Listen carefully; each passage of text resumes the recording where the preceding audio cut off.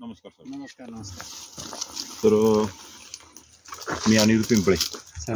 आज तुमच्या शेतामध्ये आपण आंबा पपई आणि ऊसाच्या पाहणीसाठी आलो होय सर. आज गुढीपाडवा आहे. तुम्हाला गुढीपाडव्याच्या हार्दिक शुभेच्छा. तुम्हाला सुद्धा सगळ्यांना हार्दिक शुभेच्छा.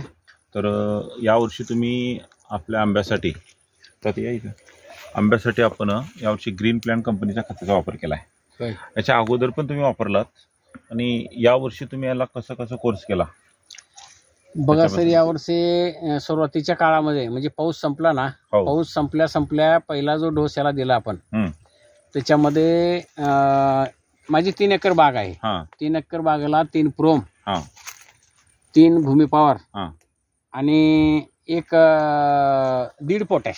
दीड पोटस असं सुरुवातीला दिलं. पाऊस संपल्या संपल्या. अच्छा हां. आणि त्याच्यानंतर मग तुमचे ते Bhumi bloom premium bloom premium खालून आतापर्यंत तीन वेळेस तीन सोडलं. तीन असे नऊ प्रीमियम मी आतापर्यंत बर बर आणि ब्लूमची फवारणी.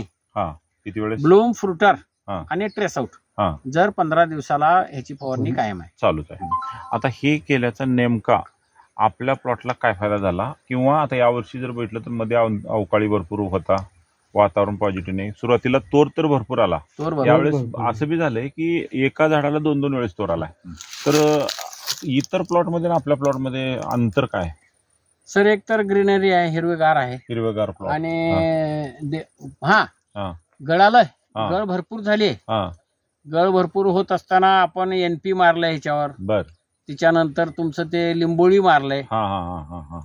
त्याच्यानंतर ट्रेस आउट तर कायम होता. बर. ब्लूम आहे. हा. त्याच्यानंतर पण इ- पेस्टो हिट सुद्धा मारला आपण. हा हा. पण इतर प्लॉटच्या मानानं आज काय बाग आहे आपल्याकडे माझा, अशा आहेत आंबा की आहे, त्याला आता आंबा. फळच नाही. हे काय? आता आपल्याकडे बघा हे- हे हं. अं, हे आहे तुमचं अं, केशर. केशर. हा.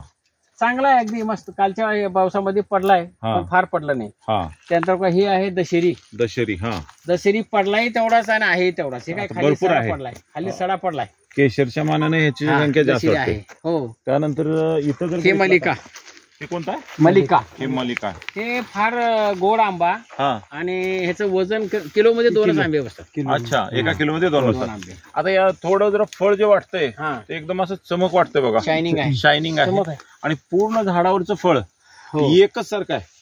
या झाडाचं सेम सुद्धा आणि सेम ह्या सेम झाडाचं सेम सुद्धा. Same same same Shubham. छोटं मोठं बारीक नाहीच. जर आपण ग्रीन पॅट वापरलं नसतं तर मात्र एवढं फळ राहिलं नाही असतं नाही का? आता दुसऱ्याच्या जेवढ्या कालच्या वाऱ्यामध्ये जेवढे आंबे